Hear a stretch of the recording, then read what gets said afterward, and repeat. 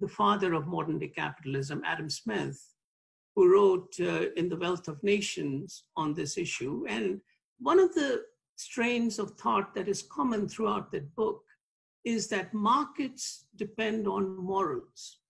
Markets depend on morals. And he reiterated that in another one of his treatises called The Theory of Moral Sentiments, in which he says that when which he said that the pursuit of enlightened self-interest leads to the well-being of society. So in a sense, I think companies also need to realize that one, they have an obligation to their shareholders, which is correct, but they have an obligation also to a very important stakeholder, which is society.